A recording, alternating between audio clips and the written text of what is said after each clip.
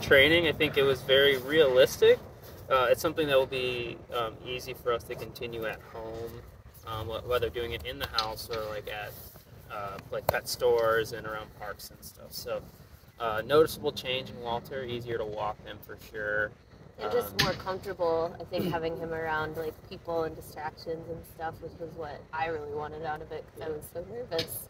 And it gives us like a direction on like what to do. Yeah, like if For- if something, Like we know what to do now. yeah, and it's not just like uh, us trying to come up with with a command or something. We know the command. We know that he knows the commands now.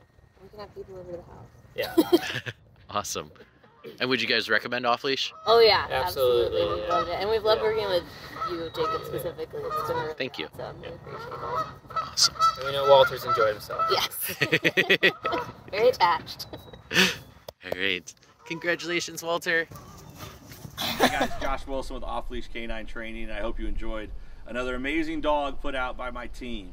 Uh, across the country, we don't care about the breed, the size, the age, or the behavioral issue. We're going to make them awesome for you. If you're interested in seeing more videos like the one you just saw, click the image here on the screen. Also, I'd encourage you to check us out on Instagram and Facebook.